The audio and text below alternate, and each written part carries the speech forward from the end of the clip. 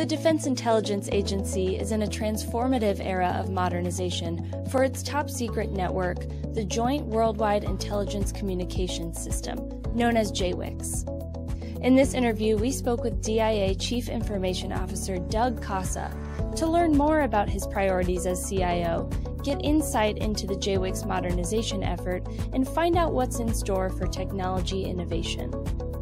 If you enjoy this interview, please like, share, subscribe, and turn on notifications. Also, we would love to hear from you. If you have a question for the leaders of GovCon, please drop a comment below or email studio at executivemosaic.com. Hello, and welcome to Executive Mosaic's video interview series. I'm Summer Myatt, and here to speak with me today is Doug Cossa, Chief Information Officer for the Defense Intelligence Agency. Doug, thank you so much for joining us today. Thank you for having me. So, I'd like to get your thoughts on the global intelligence landscape. To set the scene for our conversation, can you give me an overview of what's going on in global intelligence today? Absolutely. I've been in this community now for uh, over 20 years, which is hard to believe, uh, but I've certainly seen a lot of changes over time. Before I got into my role as CIO here at the Defense Intelligence Agency, I came from the Office of Director of National Intelligence. And one of the jobs that I had was actually managing our process for defining intelligence priorities. And what I had seen is certainly a significant change over the years, especially over the past decade. Uh, what we originally looked at around the world were problems that could be defined by a specific country or a specific region or a particular topic like terrorism. And now what we see today is that the world is more interconnected than ever. And we've seen this with COVID as we were looking at where, to, where were the origins, how was it going to spread, what did we think was going to happen, how would countries be impacted. And what we certainly saw was is that everything was related. And also what we see today is this new dynamic of social media. And so a new source of data that we haven't had in the past. And what this means is there's a new dependency on an IT architecture to not only collect that data, but to make sense of it and process it and exploit it and get it to where it needs to go into production so we can provide intelligence to policymakers all the way up to the White House or warfighters that are across the Department of Defense. And that's where I really have seen the intelligence community change both in priorities and how we characterize those priorities given that interconnectedness, but also our response and how we make sense of all of this new data that we're receiving. And Doug, I know the DIA has been working to modernize its decades old top secret communication network, the Joint Worldwide Intelligence Communications System, known as JWICS. And the agency recently made its latest step forward in that effort with the announcement of its contract recipient Invictus in December. Can you talk about the importance and the urgency behind the modernization of JWICS? Sure. So when I refer to a new IT infrastructure for collecting and disseminating and managing intelligence information, JWICS is a key component of that. And the network started uh, almost, well, over 30 years ago at this point. And it was a proof of concept where we took a video feed to test it at a secure level between our headquarters in Washington, D.C. and the Pentagon. And it was a successful test. We were able to, to actually transmit secure video across the network and this was at the beginning of the internet when it was becoming commercialized and we had extra bandwidth. So we would add services such as email and other production capabilities. And it's really evolved into what JWICS is today, which is the top secret SCI network, sensitive compartmented information network, for sharing, sharing intelligence not only across uh, the IC and the Department of Defense, but with any federal partner that relies on intelligence to perform their function. And when I think about how far we've come, uh, I look back to the days of when I used to be a server administrator, database administrator uh, within the government. My job was very manual. It was I would look at the server logs every day. I would make you know, do the maintenance that was required, but it was a very manual process. And where we're moving for to in terms of technology is a lot of automation, and that's what JWICS is really looking to take advantage of. We've broken down our modernization program into three areas. The first is tech refresh. So it's replacing the old equipment. And when I say equipment, I'm referring to things like routers and switches and servers and storage capabilities, etc. But then the next piece of that is also cybersecurity. And a lot of that centers around the principles of zero trust. And the way that I define zero trust for ourselves within the agency is knowing everything and everyone on your networks, but constantly validating their presence, making sure that everyone that is connected and in our environment is a valid entity that is supposed to be there in a secure way. And as we think about that, that goes into also the third piece of automation, of automating in a secure way. And we often refer to artificial intelligence.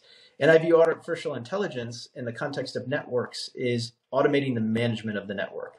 And what I mean by that in the context of security and zero trust, of when we do identify anomalous behavior, things that don't fit the common pattern of the activity that's on the network, we can identify it immediately and isolate it and take immediate action.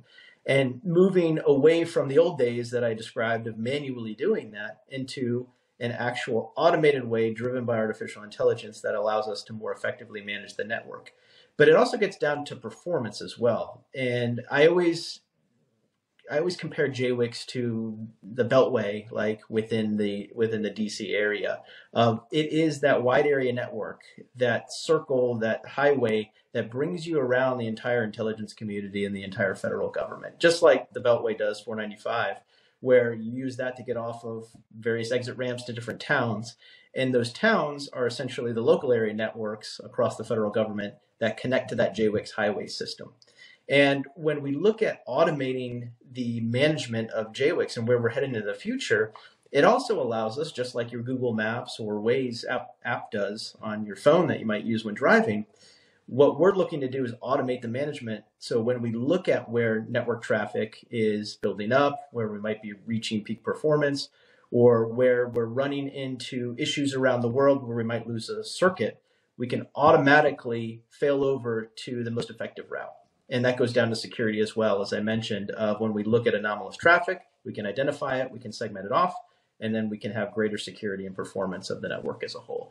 And that really summarizes where we're focused on JWICS modernization. It's the refreshing the old equipment, it's building in the principles of zero trust, and then it's getting to more of the autonomous operation of the network. Doug, you mentioned earlier, um, I want to dig into the cloud conversation. There's a lot of activity going on in the federal government around cloud. The DoD is moving forward with its $9 billion JWCC contract. And of course, the intelligence community has its 15 year C2E contract in place. Can you elaborate a little bit more on where JWICS fits into the cloud conversation? And how does it aim to interoperate with all of these systems and networks? Sure. And it gets back into that highway system metaphor that I referred to. So the cloud is on multiple fabrics. It's on the unclassified fabric, so you know the traditional access that we would think of from home. It's on the secret network, but then also on the top secret. And when we look at the top secret, that's where JWICS becomes a key component because it, it's the highway system that gets you around to the various towns. Those towns being, again, the local networks that a federal agency has, or in this instance, a cloud presence. And the value of JWICS in that sense is that we're building those cloud peering points with the vendor community to understand where do we need to connect? Where is the most efficient place around the world to be able to create those off ramps and on ramps on the JWICS so we can share that information that's within those cloud services? That's a partnership not only across the DoD uh, and across the intelligence community, but also with the vendor community who's providing those cloud capabilities. And that's a key component of our JWICS modernization is identifying where those peering points with cloud services need to be with JWICS. I want to talk about classification. Uh, the, the intelligence community has seen a historic shift towards more unclassified work, and you've said that has sparked changes in the way the DIA develops software. Can you elaborate on the impact unclass work has had on the agency's software development? Sure. Well, certainly COVID forced a paradigm shift uh, several years ago. And at DIA at the time, prior to COVID, we really didn't rely much on our unclassified network. It was maybe a few hundred users, uh, and then almost immediately overnight, it turned into several thousand users online. And we really had to shift our approach for how we supported the IT infrastructure for that workforce that was now working from home and needed to be productive. That was certainly a partnership with the vendor community where we set up a virtual desktop, which we use today uh, to continue that teleworking environment. And we were one of the first agencies actually in the community to stand up a secure FOUO accredited environment. Uh, we plan to continue that, um, but it's expanding in terms of how can we now push a lot of our IT functions, particularly software development, to the low side. Uh, as we've seen, especially with our vendor community, a lot of that software development uh, is going to continue on the low side. And that requires us to mirror the low and the high side and have that kind of seamless cross domain so we can effectively develop and then push that over into the operational environment. One of my priorities as CIO is, is creating what I'm calling a capability delivery pipeline. And the benefit of this is actually threefold. One, of course, is to allow access to the broadest array of technical expertise that we can bring into our environment, to take advantage of that across the community and not uh, just re- refine everything eh, to working within a SCIF. The second piece, though, goes into data standards. And when we think about this, this gets down into things like zero trust of how do I ensure that I'm operating in a secure environment uh, that's accredited to our standards to be able to ultimately operate on the top secret network, but doing so in a way to where I'm creating something that when I push it up, I'm not recreating it to add those security features in. So it's thinking about security first within that entire process. But just as importantly, it's the data standards that make everything interconnect together. And I came across a statistic several years ago. I think it was um, a study published by GAO that said most many software development efforts are behind budget, are behind schedule, and over budget. And really, what that came down to is not anticipating what requirements needed to be designed to. And so, when it was pushed to the operational environment, a lot of things needed to be refactored and redeveloped. The goal of my capability delivery pipeline that we're standing up is that that low side environment looks exactly like any environment we would deploy to on the high side, but also we're setting the data standards right up front to be able to be interoperable. So these are things like tagging standards for sharing information with other agencies that have a similar function to where we need to integrate. Or it's international systems, uh, which is a big priority of ours as a CIO organization, as of an agency, to where we are creating applications, we are creating software that's Five Eye interoperable from the beginning, as opposed to trying to tack it on later uh, as you know an afterthought or um, as a as a design that wasn't intended to work with something else. And that's really the, the intent of that capability delivery pipeline environment that I'm building is that we can do everything to the greatest extent possible on the low side and port that up to the high side. Building on that, we actually recently spoke with John Sherman, and he said that a major priority for the DoD is working closely with global allies. Um, moving beyond interoperability just within the US government, like you were just talking about, and broadening that to working with global allies and partners like Five Eyes, for example. Um, what role does JWICS play in creating that um, secure collaborative environment for working with those partners? for really since the beginning of time, um, when we think about our international systems, they were developed as separate, separate and disparate from what we would use in our native environment uh, on in our network. And so what we ended up doing was creating these customized systems that uh, were separate and distinct to where we could have U.S. users and users from other nations, especially our Five Eye partners. Um, we are the uh, designated by the DNI as the community service provider for a capability called Stone Ghost, which is a separate system that the Five Eye partners use together. Um, and DIA is the lead for that. As we move into the future, we want to get rid of the point-to-point systems and work from our native environments. So meaning to the system that we log into the US to do our day-to-day work seamlessly interfaces with the systems that other countries have, uh, particularly the Five Eye that, that we share intelligence with, in their native environment. And so you're not logging into something separate. It is all interconnected together. We figured this out, especially within DIA for those that we call integrees. So they're essentially uh, Five Eye integrees that are employees of DIA to where we are now not pushing them into a separate environment. We are all on the same system, but in a secure way. And that really comes down back to what I said to the data standards and the data strategy we have for secure, securely sharing information. But the future looks like extending that to other partners, um, uh, international partners that we work with uh, on particular given problems to get away from the point-to-point systems to where it is a system with secure boundaries, secure parameters to where we can seamlessly interchange uh, functions and information, but based on access rights, based on your role, based on your function. And that's where we're really where we're going in the future. Um, DIA is partnered with several other agencies in doing that. And uh, again, we perform that function as a service for the broader community as designated by the DNI. Thank you. Doug, I'm curious, what emerging technologies do you anticipate will have the greatest impact on our standing in the global power competition in the next few years? And where are you seeing opportunities for meaningful tech growth in the US?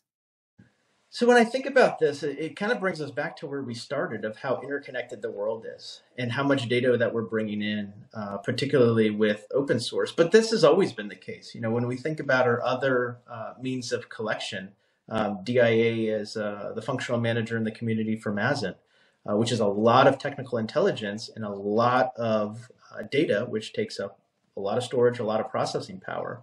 Um, we've always had more information that than we're able to process and make sense of and disseminate. That's always been the case.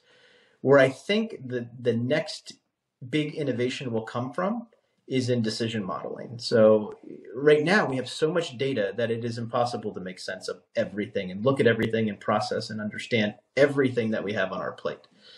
The next evolution, I think, of technologies will really focus on that decision modeling is actually making sense of it of understanding what the historical trends are and based on those historical trends, actually matching it up with what potentially could happen in the future to actually think about, okay, here's what is going to happen.